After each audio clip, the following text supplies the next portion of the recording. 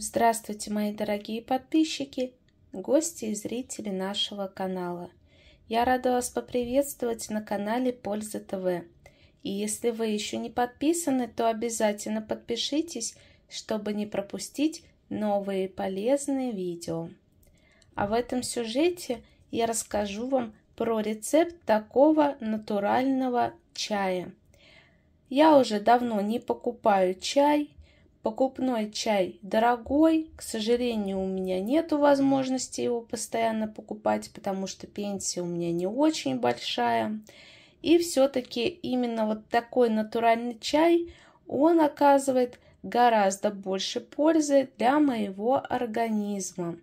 Поэтому не покупаю чай, делаю такой целебный для себя.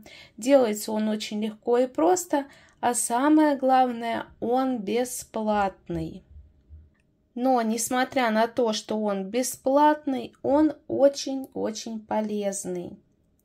Содержит в себе огромное количество полезных витаминов, микро- и макроэлементов, а также флавоноиды. Это такие а, вещества, которые а, помогают а, нашему организму, участвуют во многих процессах, оказывают большую пользу.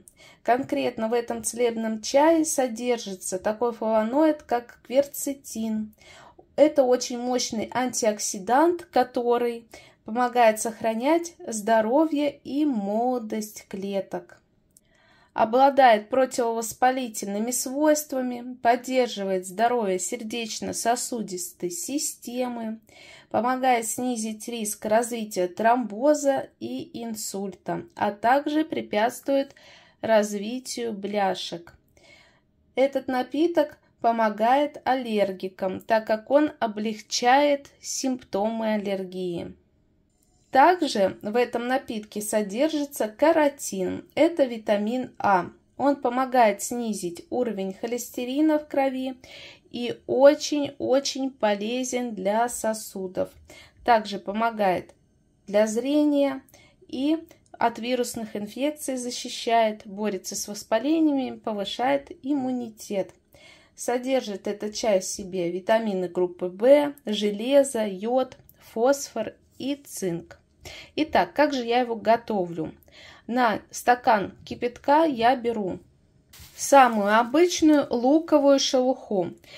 Знаю, что многие хозяйки выбрасывают шелуху, я ничего не выбрасываю. У меня все находит применение, особенно а, такие вот полезные вещи, как луковая шелуха.